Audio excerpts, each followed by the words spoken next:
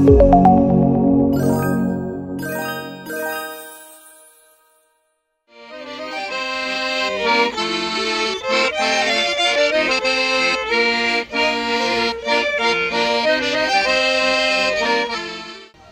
jesieni. To tak? To, te, to ten festyn? Tak, tak, to ten festyn, powitanie jesieni, e, czas wspólnie spędzony, dzieci e, i rodziców. To są najważniejsze chwile, najcenniejsze dla, e, dla dzieciaków. Tego czasu zwykle mamy bardzo mało, więc takie sytuacje sprzyjają temu, aby czas spędzać wspólnie.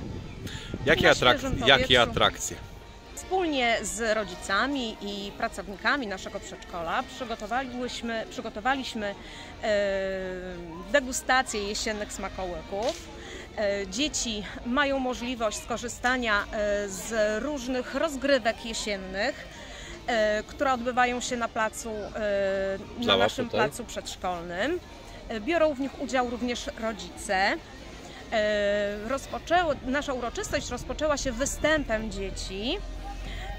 Teraz w tym momencie trwa wystąpienie ludowego zespołu Biawena, e, który prezentuje również swoje umiejętności. E, Dzięki współpracy z panem Pawłem Szycem, który prowadzi u nas rytmikę, e, mamy możliwość też podziwiania talentów mm, tego zespołu. Widzę, że jest prezydent miasta Biała Podlaska. Tak, gościmy prezydenta miasta Biała Podlaska, gościmy naczelnika. E, Była również e, z nami pani rzecznik e, Urzędu Miasta. Bardzo cieszymy się na tą obecność. Powitanie jesieni, czy podobną imprezę możemy spodziewać się na powitanie zimy na przykład? Coś planujecie? Na pewno Pomyślimy, przemyślimy. Tak. przemyślimy.